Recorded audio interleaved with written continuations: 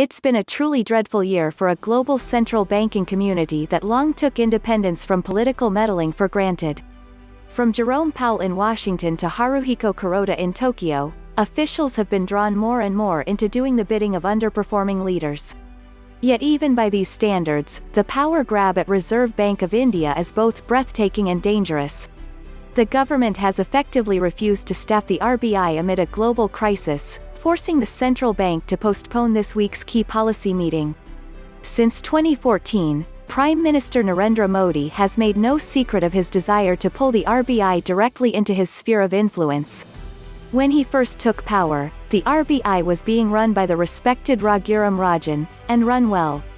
Rajan's claim to fame was an event-rich stint as chief economist of the International Monetary Fund in Washington from 2003 to 2007.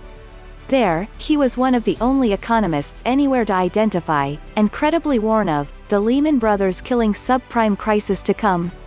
In 2013, he returned Mumbai to helm the RBI just as the taper tantrum was upending emerging markets.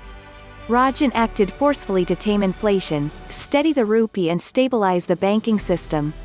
His calm and transparent efforts reassured credit rating companies tempted to slap a junk label on India, Modi arrived in 2014 and took a disliking to Rajan's independent streak.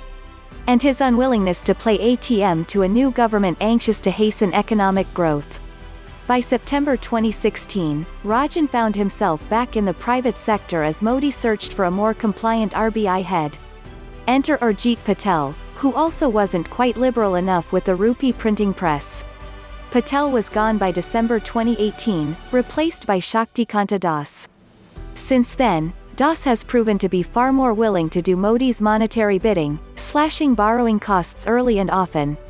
Perhaps even Das isn't proving himself to be sufficiently accommodating in Modi's eyes. The desperation in New Delhi is understandable on some level. Indian growth plunged 23.9% in the second quarter, easily among the worst in Asia. COVID-19 is also devastating the economy. With more than 6.2 million cases, India is second only to America. Yet a recession-causing pandemic is no time to be suffocating India's most globally respected institution. Earlier this week, the RBI found itself three policymakers short to hold a scheduled meeting on the interest rate outlook. The government failed to appoint replacements for monetary decision makers whose terms expired, injecting fresh uncertainty into Asia's third biggest economy. It smacks of reckless neglect, at the very worst possible moment, says economist Vishnu Varathan of Mizuho Bank. Yet it's also emblematic of the how the promise of Modinomics dims more and more each passing year. Modi rode to national office on the strength of his years running the western Gujarat state, one of India's most advanced economic regions.